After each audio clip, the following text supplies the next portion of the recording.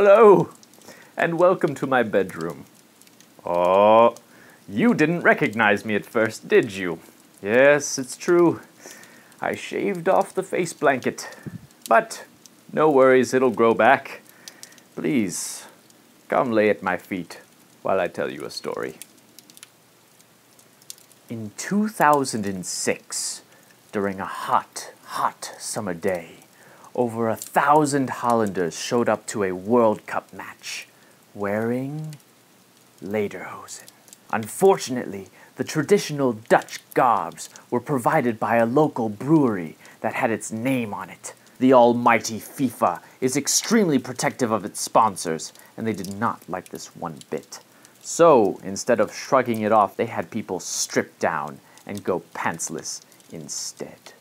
So that's why today, lederhosen are considered a symbol of virility and brawn and the sound of music.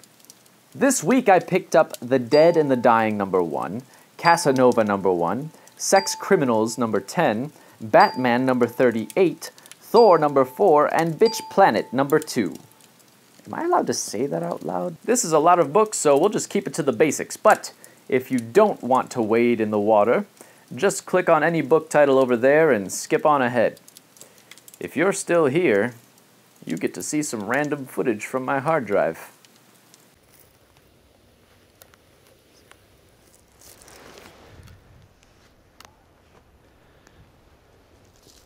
The Dying and the Dead, number one. Here we have a brand new series from Jonathan Hickman, and wow, this is a thick issue. Look at all those pages. We jump right into the life of an older man who is that kind of uh, veteran, no nonsense sort of tough white guy.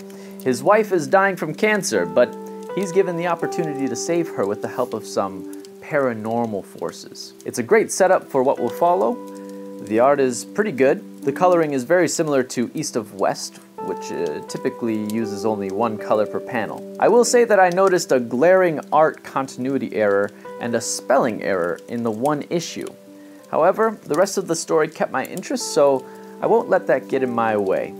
So, should you buy it? It was a decent start, but there's no meat yet. It seems like these aren't really flying off the shelves either, but it could be a good series. Get it if you're looking to fill out your pull. Casanova, Acedia number 1. I never read the original Casanova when it first came out, but I saw this on the shelf and thought I'd give it a shot. If you know anything about the series, about Casanova, help a lazy guy out in the comments because I am totally unaware of Casanova prior to this issue. It was a fun read. In any case, I like this. It's gritty, but light, and it's excellent writing. Matt Fraction does a good job, and I find myself interested in what happens next. So, should you buy it?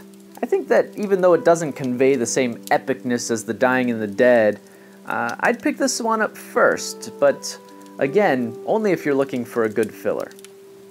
Sex Criminals number 10. Speaking of Matt Fraction, I don't know what to say about this issue, and uh, I'm not going to go into detail either. So, should you buy it?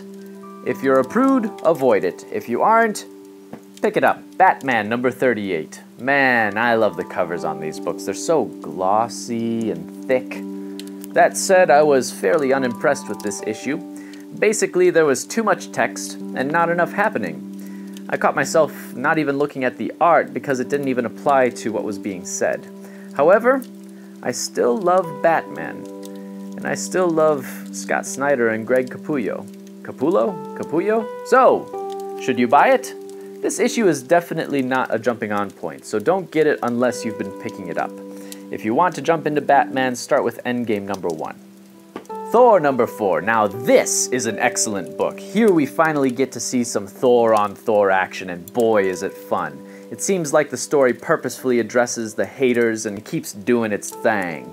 The writers and the art are great, and we find out that the new Thor is definitely not Freya. Oh, spoilers. So, should you buy it? Even if you haven't been reading it, this issue is worth it. Pick it up and eat your heart out. Bitch Planet number 2. Issue 1 was kind of a setup. You started reading expecting it to be a Shawshank esque story, except the supposed main character gets killed almost immediately. what we're left with is an interesting new introduction to issue 2. I'm not sure how this is all going to pan out, but it's kind of looking like Fight Club meets Green Mile. The art is stylized in a good way, and the writing moves the story along nicely. So, should you buy it? Do you need any more convincing than Fight Club meets Green Mile? No. well, I'm not going to spend any more time talking to you tonight because I'm done. You can find something else to do until you see me again. I am going to stare at the ceiling for eight hours because I don't sleep. Maybe next week I'll let you under the covers. Good night.